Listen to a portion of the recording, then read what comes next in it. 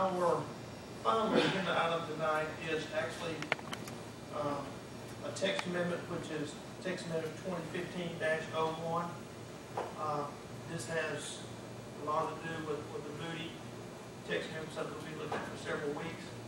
Uh, I know that in our work session last week, we had members from, uh, from Moody here with us, in the civil engineering department talking to us about this.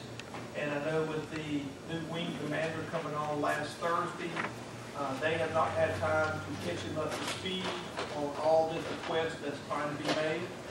I know I've had some conversation, if you will, with, with staff and also with the county commissioners about possibly considering doing a ninety-day tabling of this issue.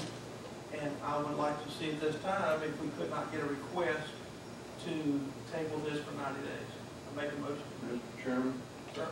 in view of the fact that, that we've been inundated with a lot of additional information, the air installation accountability, compatibility, use study, I would like to have some time to review that, compare it to the text amendment. Pursuant to our discussion during the work session and your meetings with the county commission, I would like to make a recommendation that we postpone for another ninety days. So it's your recommendation that we table this for ninety days and let Yes, it, okay, so we have a motion on the floor to table for ninety days from Commissioner Raker. Do we have a second? I have a second from Commissioner Hall.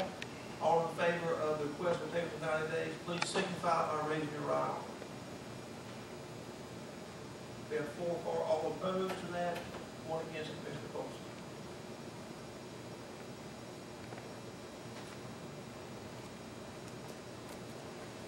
That actually concludes, if you will, the cases that we have to review for the night. Jason, you want me to close this and then start we have to do? Yes, sir. I know Mr. Hull is here. Um, I'd like to just do a brief introduction.